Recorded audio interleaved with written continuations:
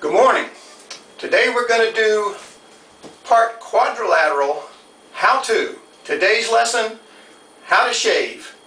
First, you need to get yourself a cheap disposable razor.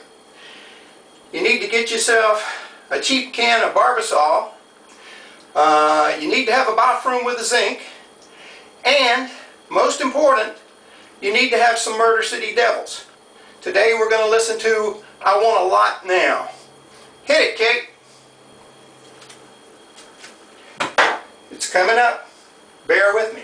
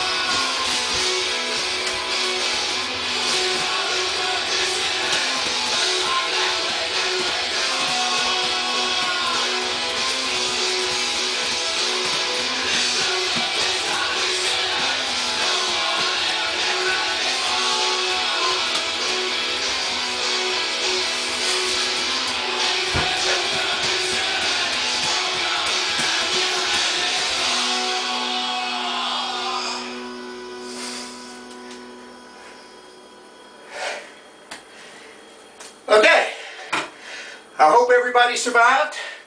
I hope everybody was careful. This is something you may not want to try at home without a little bit of practice. I want you to stay tuned. Tomorrow, I'm going to teach you how to floss.